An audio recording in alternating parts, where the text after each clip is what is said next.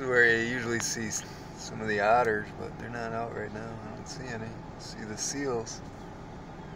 And some pelicans and a lot of seagulls. Moss Landing.